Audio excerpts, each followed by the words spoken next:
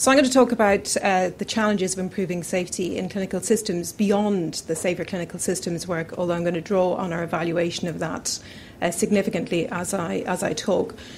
Uh, so, the first challenge we need to confront is the inarticulacy of organisational routines and systems. And Andy's already uh, referred to this. So, if I invited him to go across this uh, bridge, he might, on his bike, uh, he might have reasons to suspect my motives because this bridge talks and it tells us this is not a very safe thing to do. But most of the systems we have in healthcare don't talk quite so clearly. And if we walk into this pharmacy, it's much more difficult for it to tell us that it's very likely to lead to um, an inadvertent uh, drug administration error. So the good news is that uh, we have found ways of making you talk. And uh, those ways have been invented uh, through adapting, uh, uh, through the ingenuity of the program developed by uh, Warwick University and the Health Foundation, the Safer Clinical Systems approach has basically adapted techniques from high risk industries so that you can uh, map your clinical systems, as Andy described, and diagnose the hazards. So, this, this is a real uh, innovation. And what you discover when you use these systematic, structured approaches is that everywhere in health systems, is, uh, is, is highly risky. Here be dragons uh, is, is, the, is the, the consistent finding of attempts to map clinical systems. Many of these systems are highly improvisatory, they have never been designed purposefully, they've simply come into being, and they remain, for the most part, uncharted territory what you find, not across just the projects that were in Safer Clinical Systems, but more broadly, is that how we do things around here is hugely variable depending on where you are. So even within the same hospital, how you order an x ray do you know where the drugs are in the eight different places they might be on the ward? How do I show I have signed off this lab result? How do I know this commode is clean? How do I label this blood specimen? How am I going to know how long this patient should go nil by mouth? How do I ensure that the night shift knows what the day shift knows? None of these are harmonized, none of these are star- standardized. They happen in completely different ways, often even depending on who is on, uh, not even just where this is happening. So the result of this is that uh, when you're observing what's happening, which is what my group does, we, we hang around in uh, healthcare settings and observe what is happening.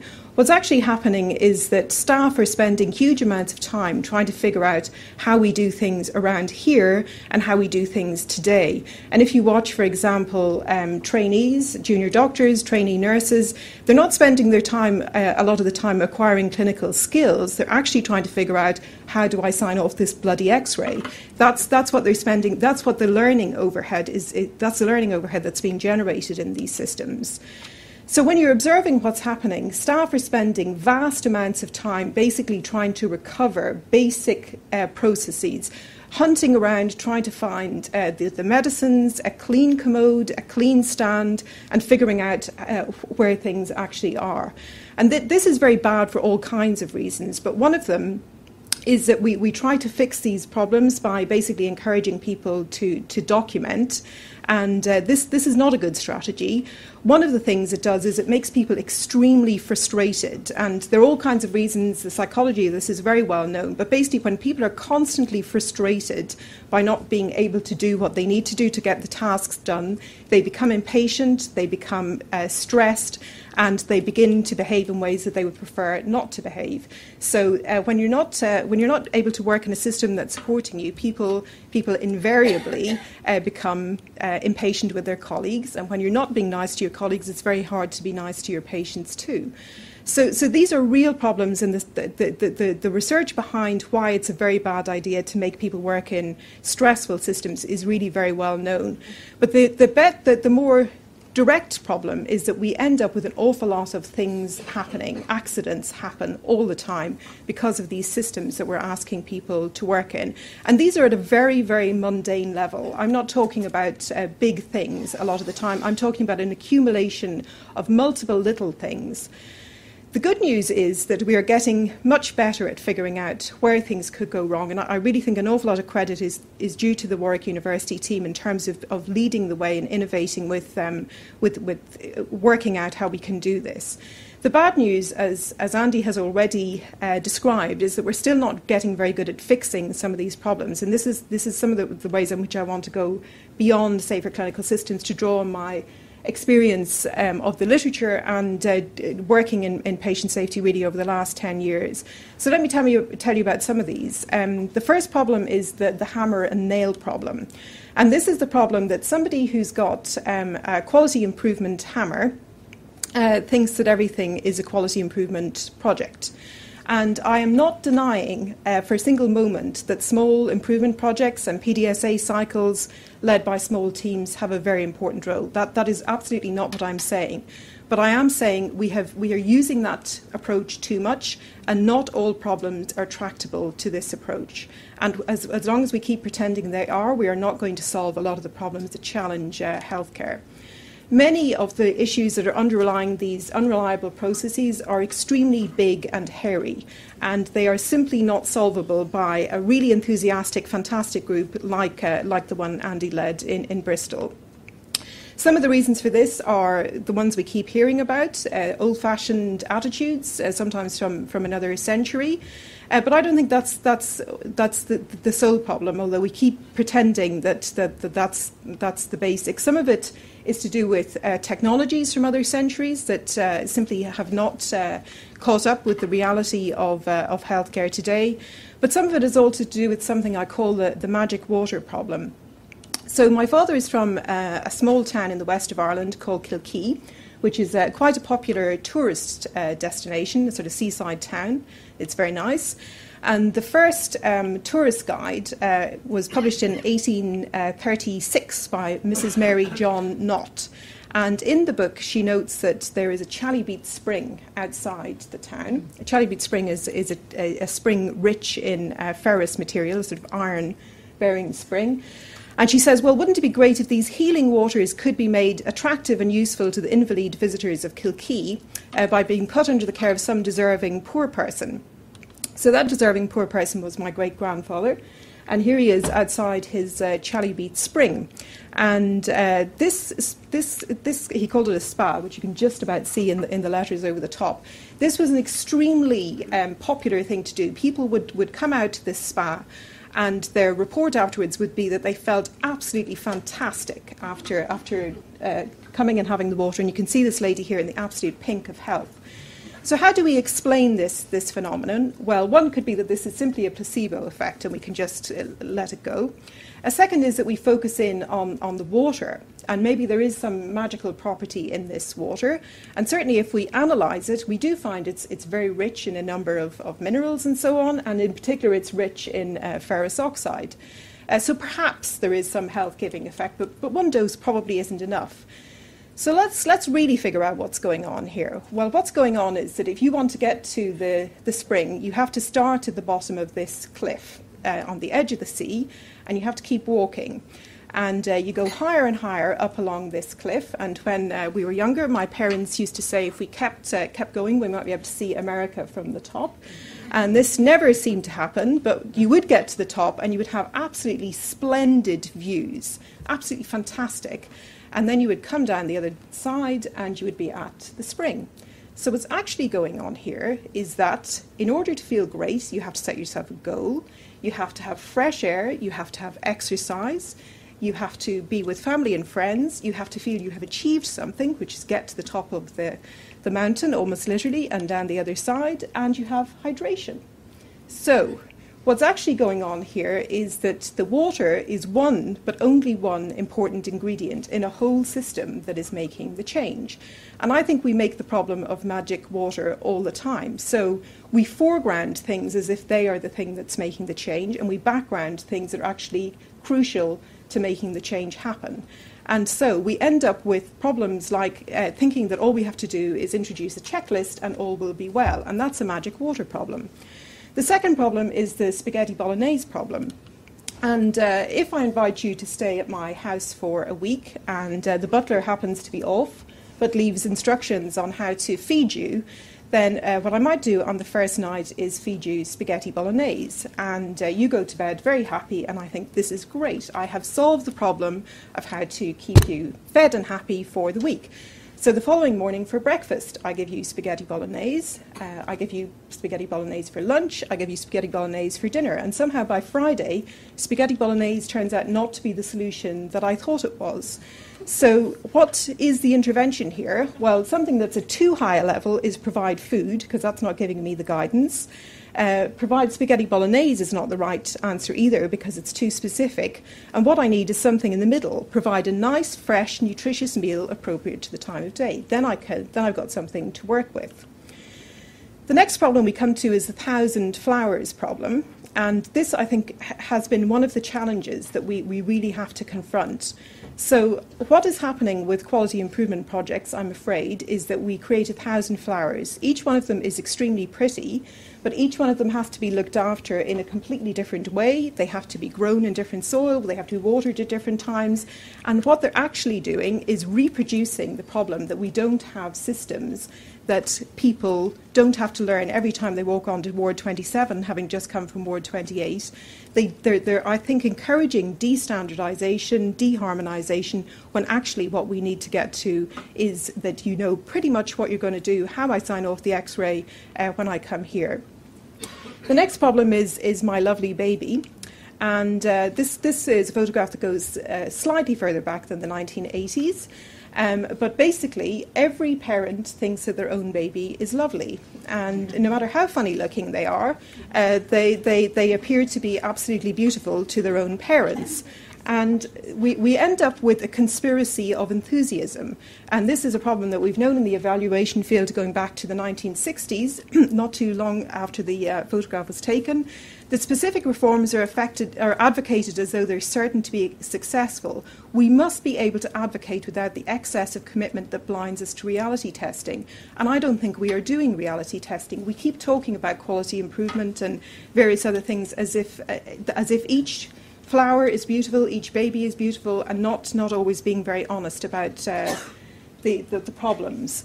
The other issue is that the lovely babies don't scale. I, I have rarely, rarely seen a baby that, that has moved from one place to another, and it's too late to wait until the inspectors have been around and said this isn't working to then go off and find a baby that you can adopt. We, we have to find ways of, of sharing before that.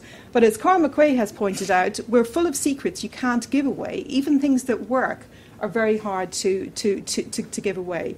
So, what we are ending up with are fantastic solutions that, that remain hidden because there is no way of opening the trapdoor or even knowing that the trapdoor is there. So, I was in New York recently, and uh, it was a fantastic doctor gave me these four questions that they ask every single day for every single patient, and they have to answer as a team because they have discovered that when they do, they, they get to a shared mental model of what they're doing. This is all designed on, on human factors principles.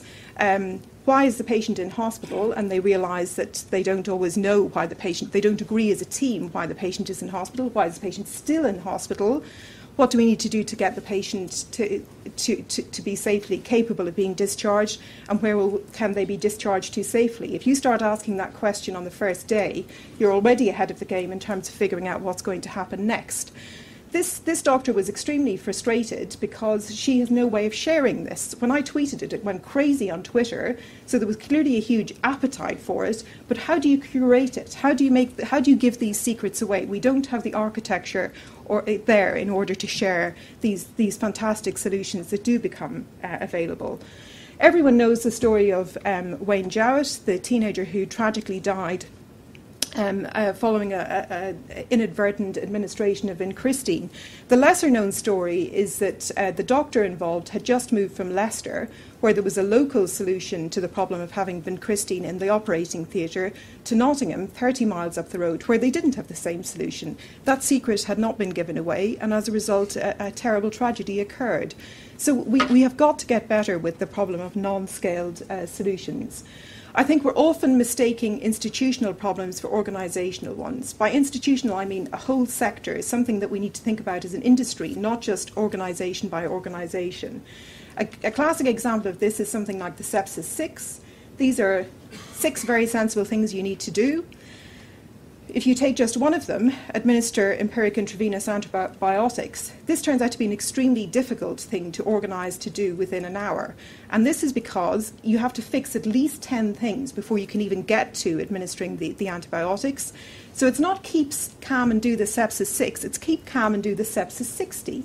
It's 10 things you have got to fix before you can even get to implementing the sepsis 60. And, and we, we haven't got yet to the point where we're recognising the work that has to happen before the work can even begin to happen.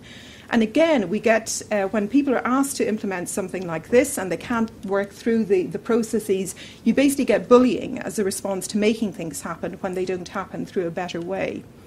This is not an NHS problem. I cannot emphasise this strongly enough. I've just spent the last four months in the States, and when you walk onto the sharp end of the wards and you talk to people, they're talking about exactly the same things. US studies are showing that nurses are interrupted every six minutes. Uh, they spend 10% of their time uh, working around operational failures, glitches, and so on, constant. And it's exactly the same as what's happening in the, in the UK. So, so we have to stop beating ourselves up. This is an industry problem, this is a sector problem, it's an institutional problem, not an organisational problem. When they tried to introduce stroke care in the US, they found only 20% of organisations were able to get themselves sorted to do the equivalent of the sepsis 6 for stroke patients. Problems we cannot solve by continuing to treat them as organisational problems include things like labelling of drugs and include things like um, standardising the kind of equipment that we're using across the, the NHS. Why do we have a, a, a, device on one arm that's pumping narcotics in and a device on the other arm that's uh, measuring blood pressure, but they're not talking to each other? Cannot solve this as an organisation. This, this is an institutional problem. And industries that have made themselves safe have understood this. They have industry wide things you need to be doing, and then you do quality improvement. But we're, we're doing quality improvement first. Car industry is another, another excellent example. So, what we end up doing is keep, we continue to bracket too many things as being too hard that we just can't solve because we keep asking small clinical teams to solve them. So, what we're continuing to do is try to kill mosquitoes one at a time when we need to be draining the swamp. I'll, I'll, finish now by talking about, I think, one of our biggest, biggest challenges, and this is the problem of many hands. So, this is a classic in the public administration literature, and it, uh, it, it ori- originates from analysis of the Centralia mine disaster in 1947, uh, when over 100 men were killed in, in a mine. And uh, so basically, the idea behind the problem of many hands is that the miners at Centralia, seeking somebody who would heed their conviction that their lives were in danger, found themselves confronted not with any individual, but with a host of individuals fused into a vast, unapproachable, insensate organism. And I'm afraid we have pretty much the same thing. We have too many hands involved, and the profusion of agents obscures the location of agency. Who is responsible for, for sorting out things like drug labeling, equipment, all that sort of stuff we need to be doing. So I think we've ended up with I love the tweet of God, if any of you are on Twitter. We've ended up with somebody should do something, but who is the somebody and what should it be? So what now? Stop thinking about safety as an organisational problem that we can sort out organisation by organisation. Start thinking about it as an institutional problem. Give people templates, crib sheets, whatever you want to call them, for well designed operational systems be clear about what's the hard core, what should everybody be doing in a similar way, what's the soft periphery that they can customize. So stop thinking about this as problems we can scale and go to a mass customization model. We know it can be done because they did it with Door to Balloon in the States. You just tell people the five things that they need to be doing in a fairly similar way, and, and they can do it.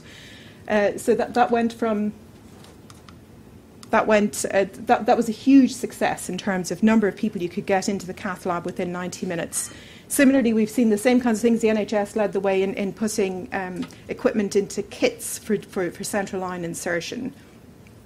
And we've seen that solutions that they've developed in anaesthesia that, that, that have, where, where people have come together have worked.